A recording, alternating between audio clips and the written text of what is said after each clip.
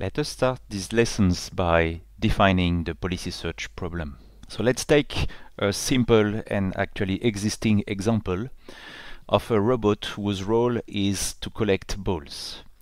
I will take the case of a very cheap um, tennis ball collector where the robot does not have a ball sensor. So the only option is to wander more or less randomly on a tennis court so as to collect the balls. So we will consider the case where the robot comes with a parameterized controller and we will play with the parameters and our performance will be the number of balls collected in a given time. We could use different performance but this one is easy to understand.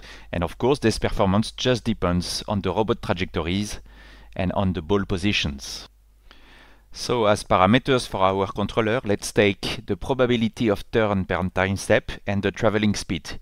Here you have one with a low probability of turning and a maybe low traveling speed and these ones are higher probability of turning and maybe this one a higher traveling speed okay the question will be how do the parameters influence the performance and the problem of policy search will consist in finding the optimal policy parameters so as to maximize the performance the point is that this performance can be highly stochastic there are actually two sources of stochasticity.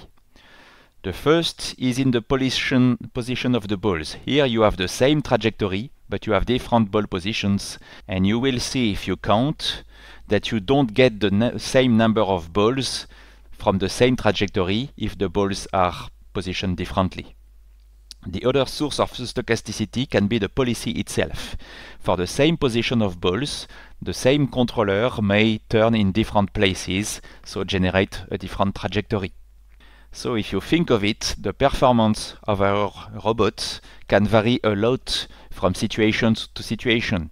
So to estimate the performance, we will need to repeat and to take several trajectories to have an idea of whether this parameter is better than this one. So tuning the parameters can be very hard because we need to repeat the trajectory several times to get an idea of what is good and what is bad.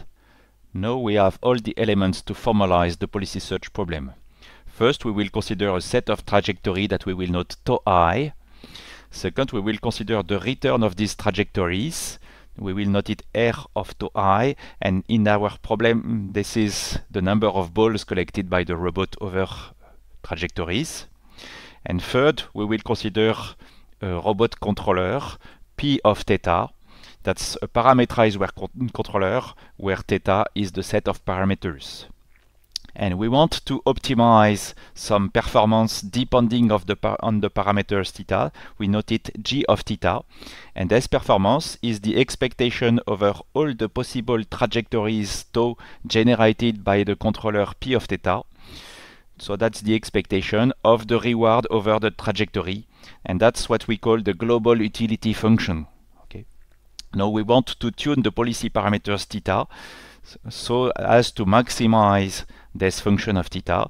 Thus, our goal is to find the optimal policy parameters theta star, which is the theta that gives the max uh, g of theta.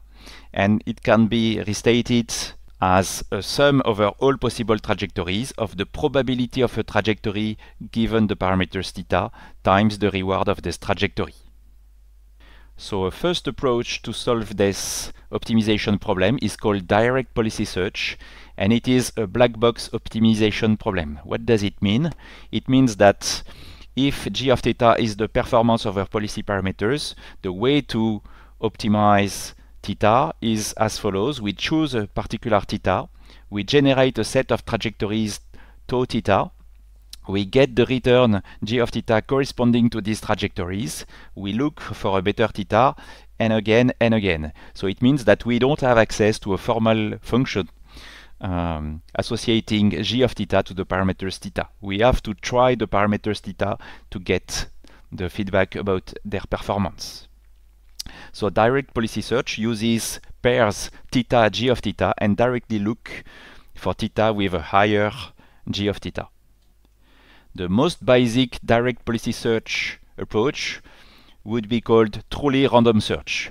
I say here truly because there are some algorithms that are called random search which are which are not completely random. So what's truly random search? The idea is that you take a set of parameters theta randomly, you evaluate their performance. If the performance is the best so far, you keep these parameters and you loop until some termination criterion. And for instance, your termination criterion could be that you have a target performance, and as soon as you get parameters that give you a performance that is higher than your target, you can stop. Of course, this is not at all an efficient uh, algorithm if the space of policy parameter is large. You may search randomly for a long while before finding this peak, for instance okay. But that's a very general blind algorithm which needs no assumption at all on the performance function. Of course we can do better if the performance function in the parameters theta shows some local regularity.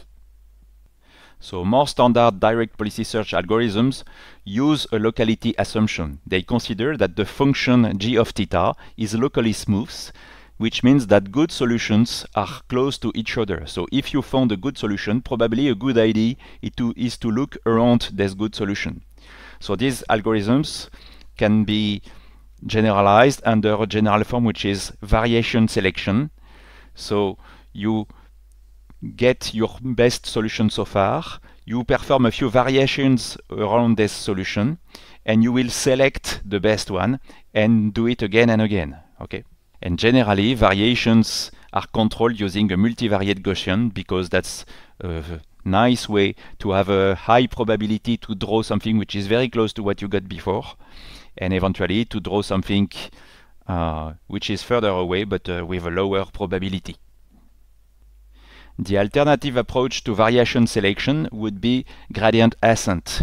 The idea is that if, you knew, if we knew the function g of theta, we could compute the derivative of the function g of theta uh, close to the point where we are and follow the direction of ascending gradient so as to go to a local optimum. Okay. The issue is that in general, and this function g of theta is unknown. If you consider the robot example, it is very, very hard to know whether by tuning this parameter in this way, I will increase or decrease my performance.